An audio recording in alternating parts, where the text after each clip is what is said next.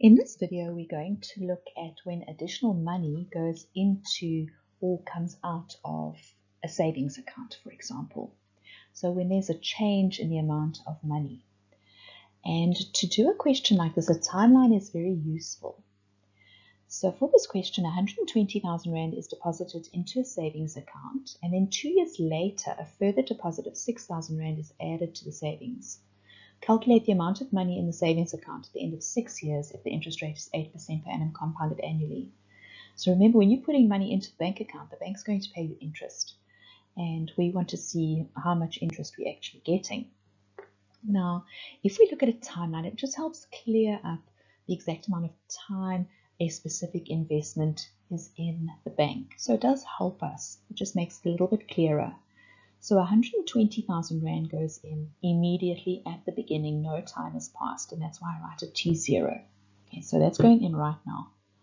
And then two years later, so at T2, so after two years, 6,000 Rand goes into the account. And I want to know how much is going to be there at the end of six years. Okay, so the end of T6. Now, with this type of calculation, we don't want to round off too early because that can make a difference of a few decimals. And when we're talking about finance, that can make a big difference to a person. So we want to use our calculators only once if possible. Now, if extra money is going into an account, I can actually treat it as a completely separate investment. It makes no difference to the final total. So in this question, we're earning 8% per interest and it's compounded annually.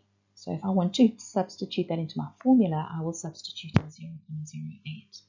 The interest is compound interest. So we're going to use our compound interest formula and we're first going to look at 120,000 Rand. And we have to ask ourselves, how long is 120,000 Rand in the account for? We're going to ignore the 6,000 to start with. 120,000 Rand will be there for the full six years. So that is our first investment. Okay, so it's going to be there for six years, so my exponent is six. Then I'm putting in another 6,000 Rand. So I'm adding 6,000 Rand to the account, but that 6,000 Rand is only going to be there for four years. So from from two to six is an extra four years. So I'm going to add another investment to my account that that investment is only there for four years. And this is the easiest way to calculate how much will be there at the end of six years. Okay, so the 120,000 Rand is there for six years and then a completely new investment, completely new amount of 6,000 Rand will go in and it's going to be there in four years, for four years. And if you type that long thing into your calculator, you get the exact right answer. So if you type it in, and round off to two decimal places because we're talking about rands and cents, you should end up with 198,587 rand and 85 cents. So it's not necessary to put the 120,000 rand in for two years, get an answer, add 6,000 and then put the new amount in for four years. You can actually treat them as two completely separate investments. The answer is completely 100% correct. In the second example, 80,000 Rand is deposited into a savings account and 12 months later 14,000 Rand is withdrawn from the account. Okay, so this time money is coming out of the account. Calculate the amount of money in the savings account at the end of four years if interest rate is 11% per annum compounded annually. All right, so let's just have a look at what is happening on a timeline. Okay, so 80,000 Rand goes into the account immediately, so no time has passed, and that's why we say T0. And then 12 months later, 14,000 Rand comes out of the account. So one year later, 14,000 Rand is coming out of the account. And we're going to put that on the opposite side of the timeline. So don't put it as a minus 14,000. Put it on the opposite side of the timeline. And we want to know at the end of four years how much will be in the account. So that's how your timeline works. So T0 is when no time has passed. That's when we first put the money into the account.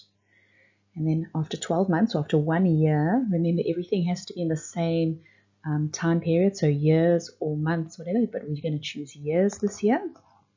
14,000 Rand comes out and our interest rate is 11% per annum. And remember when we substituted into the formula, we're going to divide it by 100, so it comes out as 0.11.